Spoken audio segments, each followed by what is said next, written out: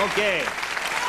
Uh, my next guest starred in Dempsey and Makepeace, a television series in London, which was seen in over 60 countries. Now he co-stars as Teddy on a new comedy series called Home Fires, which is on NBC Saturday nights at 8.30. Please welcome Michael Brandon.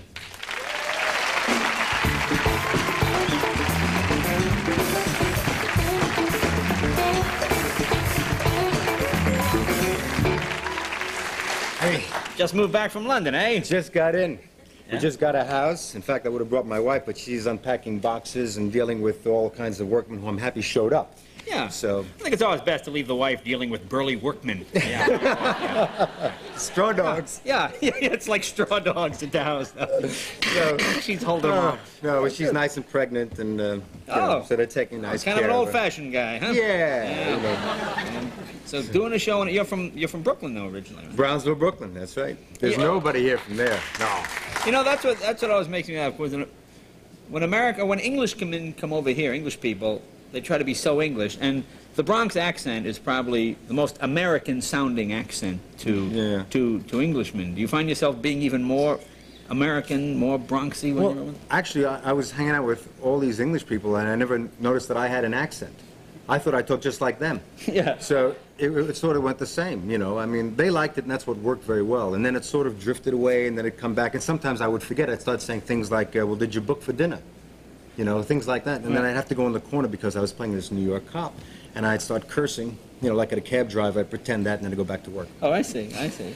Well, I, well, I always like watching English shows. I think I mentioned this before one time because they would have English actors do American accents. So they would sound like Americans until I was watching one of the shows at Masterpiece Theater one night, and this guy was obviously an Englishman doing American. He comes, he goes, "Hi, Bob, how are you? I'm Detective So and So." He looks at some food and he goes, "Aha." Well, I see he ate the crispy bits. you know, like an American would say that. You know, it's very odd. The But food was something else. yeah, they get those little Yeah, bacon rolls, you know, and all that Little stodge rolls. and that kind of stuff. yeah. bubble and squeak. You ever have that? Exactly, dessert. Yeah. Bubble and squeak is what? It's like cabbage and something. Something awful. You put it. Oh, how about what? Um, black pudding. They said I thought it was like something like brownies. That's what it looked like. Yeah. I took a bite and I was, what is this? It's dried pig's blood. Who would eat that? Oh, look at the the crowd's I mean, mouth would is eat watering. I was spitting for two days. When you get these here, would you like a giant tomato? You get like this. But you're a big star over there, right? The show was huge. It was huge. It was in 60 Yeah. countries. Like in France, it was Mission Casse-cou. In Spain, it was Como Pero de Gato. I mean, I didn't know I spoke that many languages. Oh, yeah. You know, but it, it was. It was a great success, and I stayed for seven years. And they dub your, your voice in, and they say, Yeah, you're very beautiful, my dear. You know, it's the same guy. The same guy in every different language. It was great. And you married your co-star on the show, is that I right? did. I did. So you didn't know her before you started the series? No, we we uh, we met uh, when I went over there to do the show, and uh, we set up a tea at the Ritz Hotel. I came in, and I was working on the character for about a week. I was really getting to be this chauvinistic slob, loudmouth, and uh, she was very demure and very you know English. And we're in the Ritz Hotel, and I sit down. Hey, how you doing? You know, and she starts talking to me, and the phone was ringing, and I said, "Would somebody answer that?" She she started to crawl behind the table. Yeah, not. no. She's uh, her worst horror. I was this brash, ugly American, and uh, you know, I'd say, "Well, what do you want to do later? You want to come back? You know, a cup of coffee or a shower?" and that was it. I mean, we did. We started off hating each other. Yeah. Has that line ever worked, I wonder? No, it didn't work. But we, you know, the relationship sort of went on. It was sort of mellow. I mean, we wound up standing on location somewhere in these beautiful English countryside. They Yeah. do this big castle, you know, and I'd be standing there, you know, sort of in the character. And I said, you know, if I lived in those days, I would have been a knight in shining armor. And she'd look at me and say, if you lived in those days, you'd have been shining the armor at night.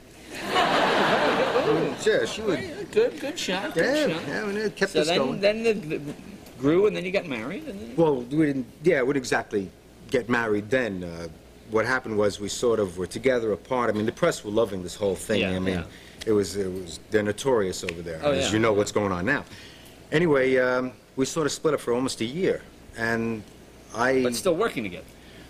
Well, yes, which was really bad. And then we had a break, and I came back to the States uh, to see some friends, and I was sort of the needy guy, you know, when you get that smell of death on you. I mean, if you talk to a girl, she'll sleep with the guy over there, you know.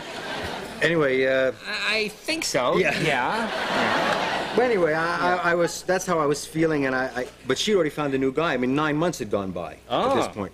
So she uh, found this guy, and he was really out Would there this be Lord Broadbottom or somebody like some, that? uh, you know, and sending her big guys. jewels and all this kind of stuff. Jewels, And- yeah? Yeah, so they were going down to the Gloucestershire, to the countryside, where we always went, to this couple's house. Oh, boy. Taking them to the same place, right? I mean, that's what, So uh, I had this jacket. It was a bomber jacket that I loved, and she wanted it, but I didn't give it to her. It was split up. Yeah. So I, uh, I put a ring in the pocket, I packaged it up, and I sent it to the house in Gloucestershire, and it was under the tree. So Christmas came, she opened it up, saw the jacket, found the ring, and he was history. There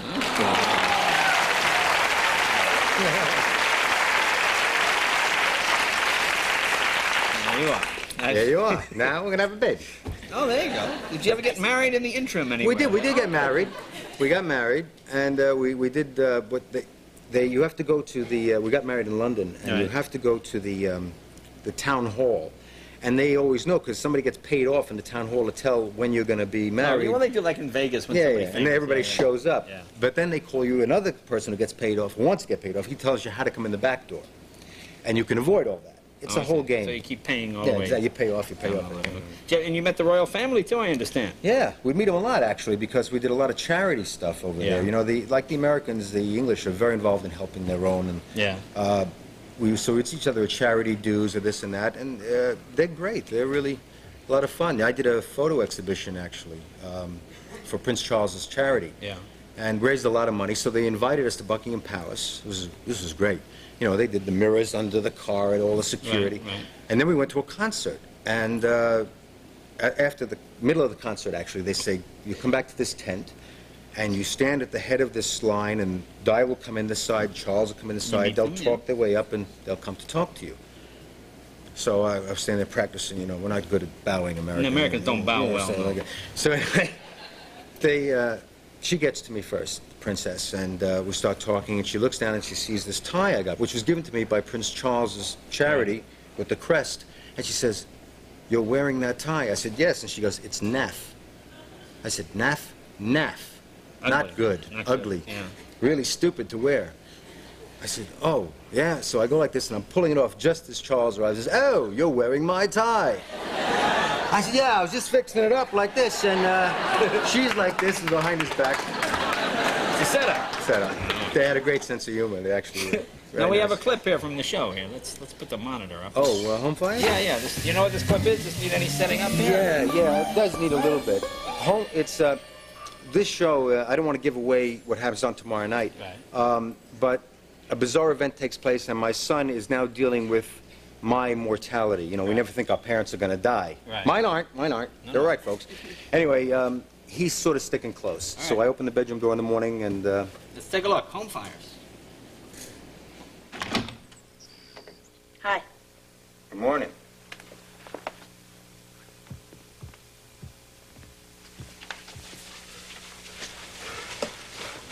Hi. Is that my shirt? Yeah. Can you give me a ride to school today? Why? You always take your bike. Yeah, but the chain's broken. Okay. So what are your plans for the day?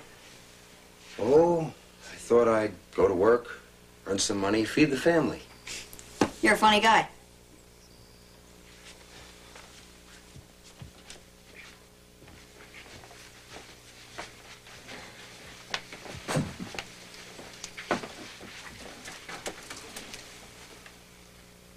Is there something I can do for you?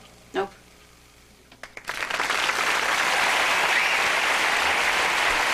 Okay, the show is Home Fires. It's on tomorrow night uh, at 8.30. Michael Brandon. Michael, thank you. Be right back. Coming up, more music with Melissa Etheridge.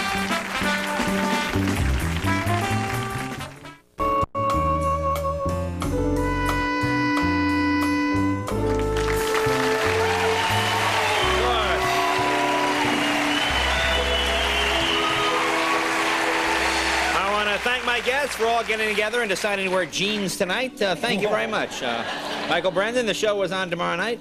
Um, what is it? I, I, Home Fires. Home Fires, of course. Life goes on. I'm thinking of your show. Uh, Melissa, this is your CD, uh, Never Enough. And, and of course, uh, there you go, right here. And uh, Kellie Martin. Uh, Life goes on. That's your show. Next week, Eddie Murphy will be here. Kim Basinger, Paula Poundstone, Grand Show, Christian Laettner, uh, Joey Lawrence, D.B. Sweeney, uh, McLaughlin, James Taylor, and Vogue. They might be giant. Tons of stuff.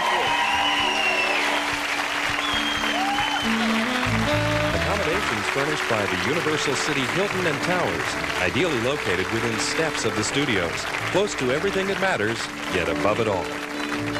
If you'd like tickets to The Tonight Show, write to The Tonight Show with Jay Leno, NBC Tickets, 3000 West Alameda Avenue, Burbank, California, 91523.